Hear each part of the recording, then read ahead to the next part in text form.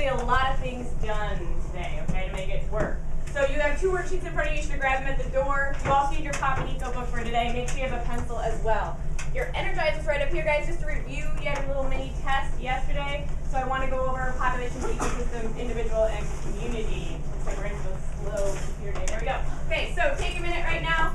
Match the word with the letter with the number. So you have one, two, three, four, and five. Match them with the correct letter, A, B, C, or D, or E. What's the bottom one? I'll move it so you guys can see it. In our notebook? In your notebooks.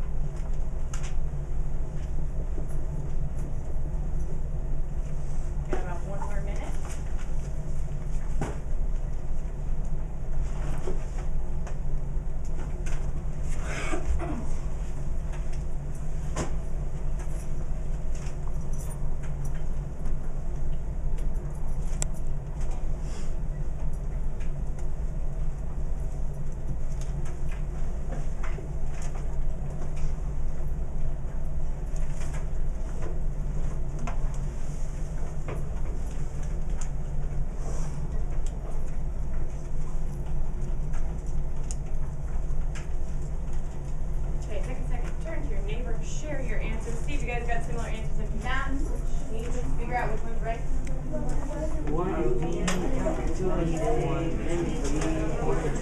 Calculated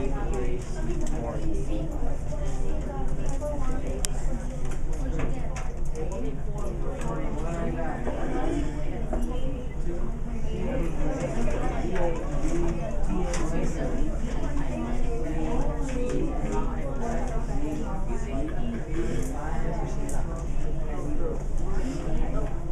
get?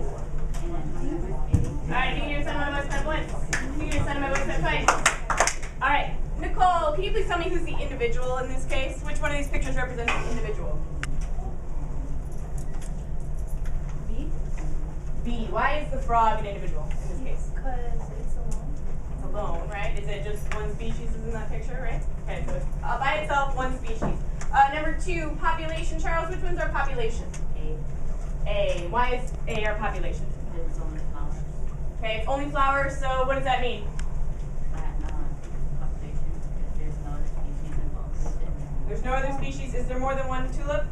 yes. Yes. Okay, excellent. Uh, Sing, can you tell me which one is our community? Um, it's C? No, no, no. Who wants to Number three, right? Yeah, number three, the community. Which one? C. Not quite C. Can someone tell me why C isn't quite want to help her out? Um, E. E. Why is E better option than C for community? Because, the B is different. Okay, so we have two different species. We have the bee and the flower. So what would that make C then? Which one is C? Who are we gonna hear from? Mikhail, what do we got for C? It's ecosystem It's an ecosystem. And why is that one an ecosystem and not E an ecosystem? because um it's it, it's interact it's non-live it's uh, living organisms interacting with non-living things. Okay, so it's interacting, living, and non-living things. Is there any non-living things in E? Sing. No. No, right. So it has to be our community. The final one, our abiotic, number five. Who knows what's our abiotic? Jennifer? D. D. And what, what's in that picture? What's abiotic in there? The water and the rock. The water and the rocks, right? Both are non-living, so they are considered an abiotic. Excellent. That should be a very easy review.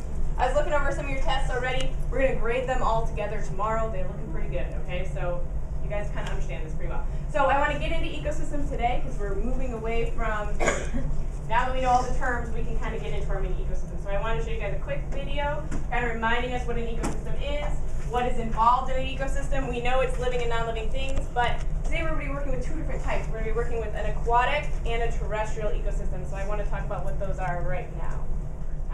Okay, so we're going to have an aquarium, which is where we house aquatic um, organisms. So aquatic just means water organisms. And we're also going to be using a terrarium. A terrarium has terrestrial organisms. Terrestrial just meaning land animals and organisms. So we'll, we'll have both of those. Today we have four aquariums and four terrariums. So we're going to split it up where the four up front are going to have our aquariums today and the four in the back are going to have our terrariums. And then Friday, tomorrow we'll switch, so you guys will get a chance to see the other one. So you're only going to be focusing on one of the mini ecosystems today, and you'll get the other one on Friday, okay? Because I want you guys to not be rushed and only have five minutes for each, so I'm going to give you like 15 minutes with each them today, okay? Just to make sure. So keeping this in mind, I first want to start out, you have a worksheet that has this. There's a part one and a part two. It says, after your group has studied the organisms on page 64 and 68. So that involves your Pop book. So get this worksheet out and then open up your green books to 64, please.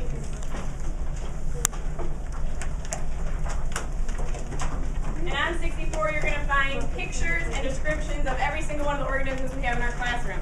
Now, as I mentioned, unfortunately, all our guppies didn't make it. So we're going to get some new guppies coming in later this week, but for right now, we do not have the guppies. So we're going to be working with what we have at the moment. Just keep the, sort the guppies, act like we have them because we will have them eventually, but just know that if you have your aquarium today, they are not going to be in there. So my first line of business that I need you guys to take care of is I want you to sort these organisms, the ones kept um, in your pictures, into whether you think they're aquatic or whether you think they're terrestrial. So I just want you to take a minute with your partners. I want you to read over briefly, just skim the organisms, and I want you to sort them. So write their names. So for example, the first one is earthworm. So if we're looking at earthworms, where do we think that's going to go? Is it going to go in an aquatic ecosystem or a terrestrial ecosystem? Terrestrial. Terrestrial. Why would we say terrestrial?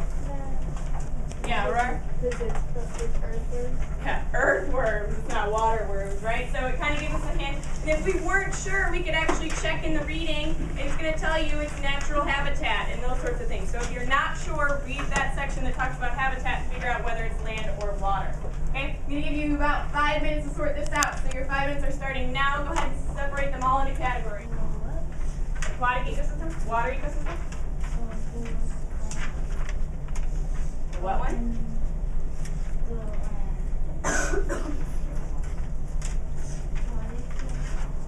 The aquatic snail. Okay, so the aquatic snail, definitely the name kind of gives it away. Christopher, give me another one. Goopy. The which one? Goopy. The duckweed, right? It's a plant that floats on top of the water. Aurora, what else? Goopy. The duckweed. Goopy. Oh, guppy. See, you know, I'm just assuming. Guppy, yes, definitely. Fish swimming in the water. Aurora? Ah, the tubifex worms, definitely. What else? Donato? Scud is a little shrimp that swims in the water. Nicholas, give me another one. The elodea is going to float on top of it, right? What about our terrestrial organisms? What are our land animals in this case? Nicole, give me one. Earthworm, definitely. Ernesto? Land snail. Any other ones? Uh, Dot, give me another one. Um, isopod? Isopods, are little bugs, are roly-polies. Mikhail, give me a last one. Alfalfa, whatever.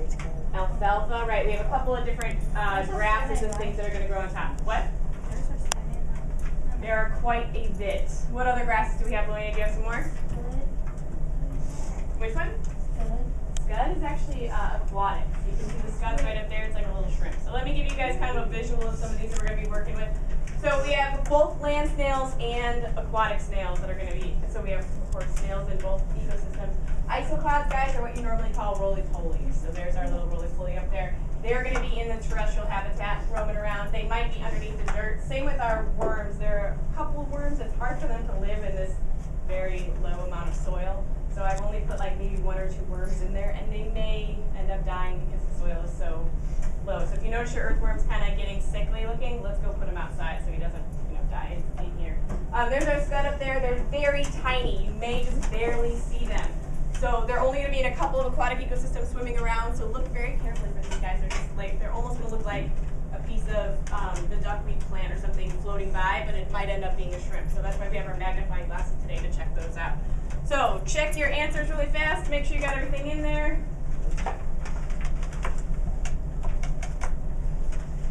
Have you got a minute to make sure? I think everyone's on the right track. Ryegrass is just a type of um, grass that's growing. So we're gonna have a couple. We're gonna have a wheat, alfalfa, and ryegrass. So we're gonna plant in there. We don't have the seeds yet. We're gonna plant them on Monday.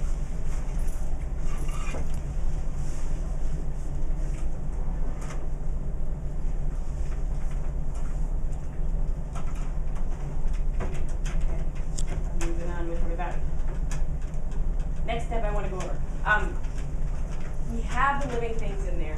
Okay, we have the biotic organisms. But we all know that in an ecosystem, biotic organisms depend on lots of abiotic things. So I want to go over if you're going to have these mini ecosystems, what abiotic, what non-living things are we going to have to make sure are in our ecosystems so that our organisms do not die, okay, or that they have all everything they need for their habitat. So I want you to take a second with your partner, and I want you to make a list. What are some non-living things we're going to have to keep track of to make sure our organisms stay alive, that we're going to need in our habitats, okay? And list next to them maybe why we need them. Why do they need them? So list the abiotic thing and then why the organism might need them. We're going to do it for both the aquatic and terrestrial ecosystems. So think about them separately, okay? Five more minutes, go. There,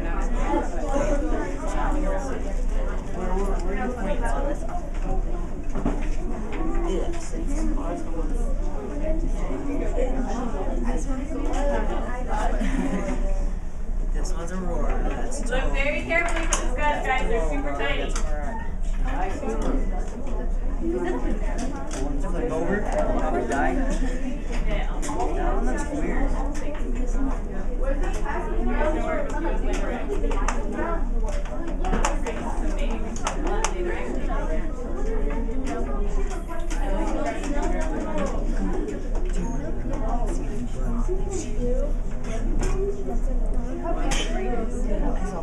Probably like the size of like.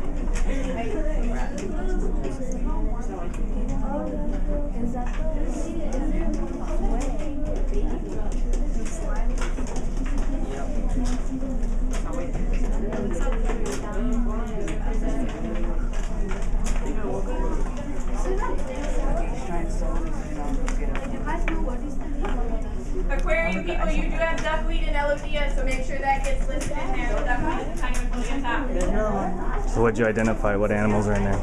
We identified snails, Isopods. isopods, Okay. Oh, earthworms. so where's the earthworm? He's like, He's kind of buried in there. yeah. Nice. Fruit Yeah, flies. yes. You Yeah. gonna list your fruit flies? Yeah. Yeah, they're part of it. Look at that one's coming out. Very nice. If you have some baby snails, especially aquatic. Central predators. Write those down, right? Oh, right there, Macau. Large fish. Oh, it's probably for. That's one of your baby snails, right? Large fish. Birds. Water flow. Water fountain. Water.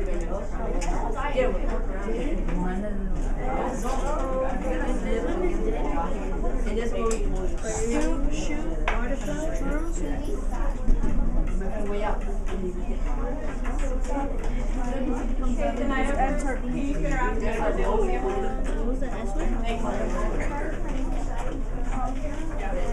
So you found aquatic snails, some different plants. Any other creatures in there? Did you find the snails? I'm sorry, the um, uh, shrimp. No. Is there Found a some in baby there? snail.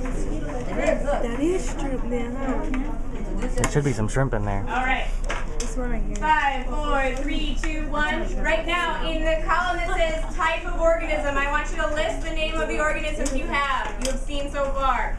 So if you have land snail, list land snail. If you have elodea, list elodea. List out the names right now, please. Thank you. Eat your desk, so get them there now, please. Elsie, lights off before we go. One quick quiz. I want you to share it with your neighbor. Figure out where each of these belong. Go. Terrestrial or aquatic? Figure it out. A is aquatic, C is C is wait, wait, wait. Is. A is. C is. C is.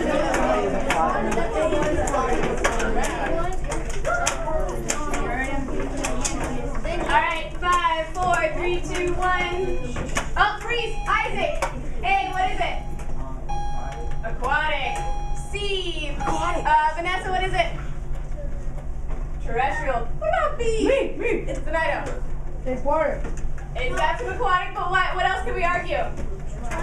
Terrestrial. So I want you to understand there are some animals that can go in both. There's a mixture of the two. Okay. We're ready to go? We will finish up tomorrow. Thanks, guys.